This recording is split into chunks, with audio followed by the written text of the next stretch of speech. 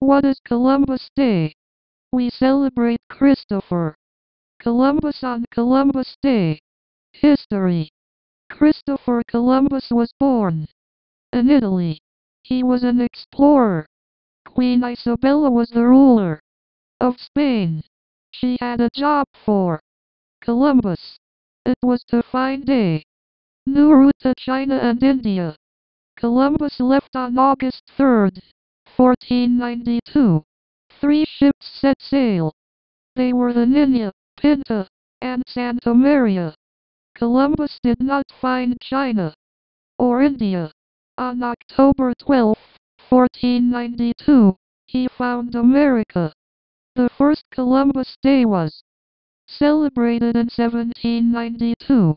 It was the 300th anniversary of Columbus coming to America.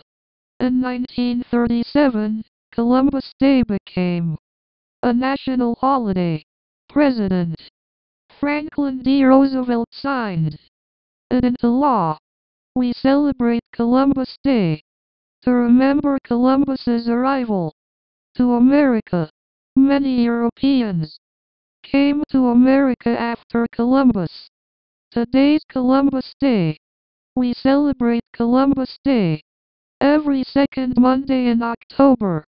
New York City has a big parade. The end.